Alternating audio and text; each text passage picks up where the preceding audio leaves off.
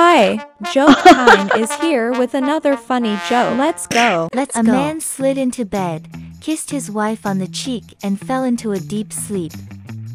He awoke before the pearly gates. St. Peter said, You died in your sleep, Ralph. Ralph was stunned. I'm dead. No, I can't be. I've got too much to live for. Send me back. St. Peter said, Hmm, perhaps that could be arranged. It does involves a lot of paperwork. But sure. You've got two alternatives. You can come back as a fish or as a hen. Ralph never liked swimming, and thought that perhaps being a hen wouldn't be that bad after all.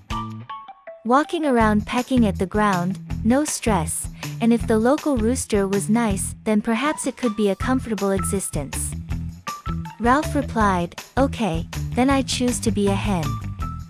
The next thing he knew, he was covered with feathers, clucking, and pecking the ground. A rooster strolled past.